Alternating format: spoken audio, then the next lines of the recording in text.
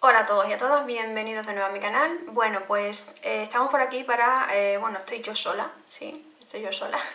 Bueno, para enseñaros las cosillas que he comprado en el mes de octubre. Eh, si os interesa saber qué es lo que he comprado, pues quedaos que empezamos. Bueno, primero enseñaros lo que llevo, deciros mejor dicho, lo que llevo en los labios, porque las uñas mmm, no llevo nada absolutamente. Llevo simplemente la base vitaminada de Mercadona, que ahora os voy a enseñar que la he comprado. Y en los labios lo que llevo es este labial de Kate Moss, ¿vale? De, la, de Rimmel London, de esta gama y es el tono 107. Yo ya voy sacando mis labiales Borgoña y oscuritos para, este tiempo y nada, es el, el, labial que llevo. No lo llevo perfilado ni nada, porque hoy me he maquillado solamente para grabar. Llevo, la verdad es que casi que dos semanas sin maquillarme apenas nada, pero bueno, historia. Así que nada, eh, paso a enseñar las cosas. Bueno, lo primero que os voy a enseñar y es una cosilla que me llegó último de septiembre, pero se me olvidó enseñaros en el haul de septiembre. Y es eh, un producto coreano. Se trata de un eh, gel fijador para cejas con color y es este de la marca Etude House. Eh, mi tono es el 01, el Rich Brown. Creo que había tres tonos, uno más clarito, este aquí digamos el medio, uno más clarito y otro casi que negro. Bueno, viene en este formato, es bastante pequeñito. Y me encanta, sobre todo también, aparte del color, hoy no lo llevo puesto. No lo llevo puesto porque lo tenía apartado para enseñaros las compras. Tiene este cepillo, para que veáis, es bastante pequeñito, bastante preciso. Eh, no es tan pequeñito como el cepillo del gel fijador de, Benefit, pero es más pequeñito que el de Catrice. El de Catrice es, digamos que un, eh, un cepillo para, eh, casi del tamaño para las pestañas, pero este no, este la verdad es que eh, fija bastante bien la ceja, ya seguramente la, habréis visto en algunos de mis vídeos de maquillaje porque ya os digo que llevo desde el último septiembre con él y creo que he grabado algún tutorial con él. Y nada, eh, para mí el tono de ceja es ideal y me ha costado muy baratito, creo que no ha llegado a los 5 euros. De todas maneras os dejo abajo en la cajita de información un enlace directo si queréis este producto y como sabéis los precios siempre irán apareciendo por la pantalla. Bueno, esto es lo que me compré en eBay. Eh, luego me compré en un bazar chino de aquí de Cáceres. Fui, bueno, pues me he ido a comprar una, cosilla. Y siempre me gusta pasearme por el pasillo del maquillaje, aunque la mayoría de las veces no compro nada, pero los esmaltes siempre me llaman la atención. Entonces nada, eh, me he comprado de la marca Moment, eh, que como sabéis, bueno, si no lo sabéis lo digo yo, es una marca española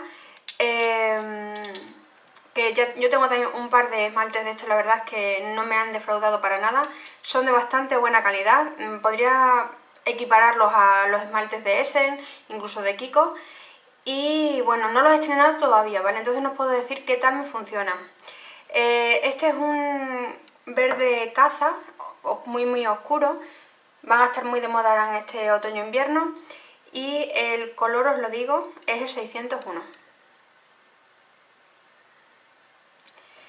Y luego me he comprado este secante, que por eso lo compré, porque me llamó la atención.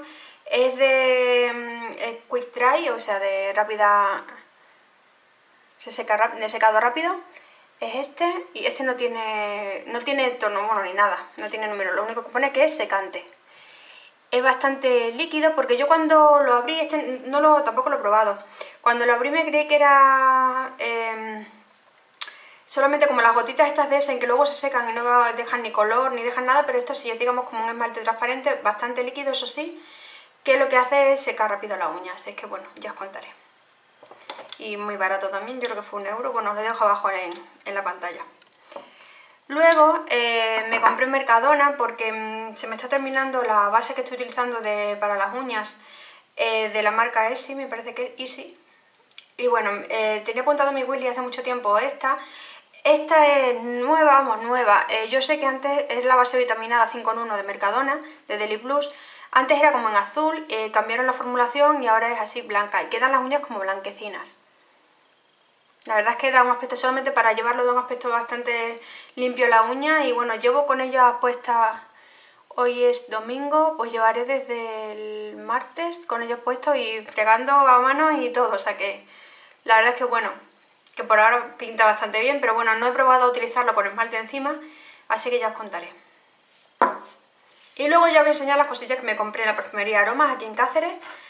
Eh, nada, entré por entretenerme porque estaba haciendo un curso y salí un ratillo em, y no sé dónde ir, digo, pues a la perfumería. Eh, que tenía ganas de entrar, la verdad. No suelo, yo os digo que no suelo, no suelo pasar mucho por ahí. Entonces nada, lo primero que vi, y como siempre a mí me llama mucho la atención todos los desmaquillantes de ojos que no sean bifásicos, todos los quiero probar, porque bueno, ya sabéis mi polémica con los, con los desmaquillantes de ojos bifásicos, que no me funciona bien ninguno.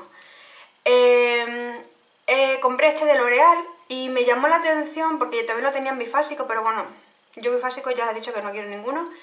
Eh, que yo estoy utilizando los aceites para desmaquillar y me vienen genial, y me vienen genial. Pero este es gel micelar desmaquillante de ojos. Mirad qué cosa más curiosa. Es como tipo gel. Tiene 125 mililitros y pone que es sin perfume y es hipoalergénico, así que no sé qué tal. Y lo que no me gusta es que vienen con las pegatinas estas que pitan y lo he quitado y me ha arrancado la mitad de los ingredientes, así que tampoco puedo ver exactamente los ingredientes que tiene, pero bueno, que ya os lo probaré y os contaré porque no lo he probado. Como ya he dicho, eh, casi que no me he maquillado últimamente, entonces eh, no he podido probarlo.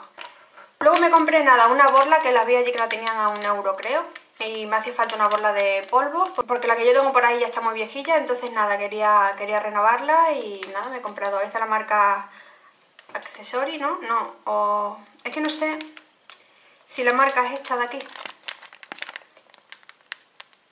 no sé, pero bueno es una borla normal y corriente y luego me he comprado dos cosillas de Rimmel en base de maquillaje la verdad es que ahora mismo abiertas y cerradas porque no tengo más la verdad.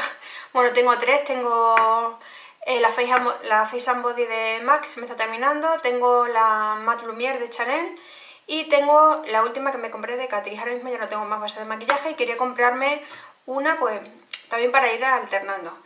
Eh, me he comprado esta que también tiene apuntada en mi Willy hace tiempo, pero eh, quería probar los tonos, ver los tonos en, en directo, digámoslo así. Y nada, me he comprado esta de aquí, el tono es el 103, es el más clarito que tienen aquí, por lo menos en, la perfumería donde yo fui. No sé si en el corte inglés, que siempre suelen tener más tonos, tendrán a un tono más claro, pero bueno, es este, este tono. Y nada, es un tono, bueno, a mi piel le va bien. Yo digo que es un poquito rosada, creo, no sé, es que bueno, ya. Yo os iré contando porque tampoco lo he probado en la piel, ¿eh? La verdad es que eh, cunde bastante, Casualidad es que el mismo día que me he comprado esta base, vi que Leticia del canal, que ahora mismo no me acuerdo, eh, que es una chica que es española pero está ahora mismo en Estados Unidos, os voy a dejar abajo en la cajita de información un enlace al review que ha hecho ella de esta base de maquillaje, que la verdad es que eh, hace unas reviews estupendas. A mí me la descubrió María, que te mando un beso muy fuerte desde aquí, en Beautiful by María, que tenéis dejo abajo un enlace a su canal.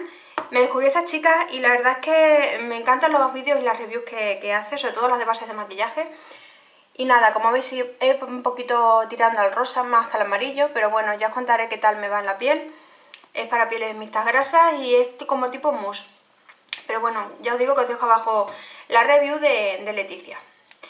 Y de la, misma, de la misma marca y de la misma gama me he comprado un corrector me he comprado este corrector de, de Rimmel también. Es este de aquí. Mi tono es el 010 Ivory, también es el más clarito.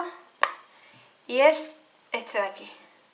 Tiene como dentro como un puntito verde, que creo yo que será para neutralizar las rojeces. También es para, para este tipo de pieles, para pieles con problemas incluso de acné. Así que nada, ya os contaré qué tal. El tono, bueno, como veis, bastante... Me lo he ido a poner en un sitio que... Como que no. A ver, me voy a poner aquí. Este sí es bastante más amarillo. Mirad la base. Eh, esta es la base de aquí que he puesto y este es el corrector. Es bastante más amarillo y no sé si me se marcará pliegues o no porque ya os he dicho que no lo he probado en mi piel. Así es que nada, que ya os iré contando más adelante cuando pruebe todas estas cositas a ver si tengo tiempo de poderlas probar, porque últimamente la verdad es que el tiempo es una cosa que no es que me sobre, pero bueno, circunstancias de la vida.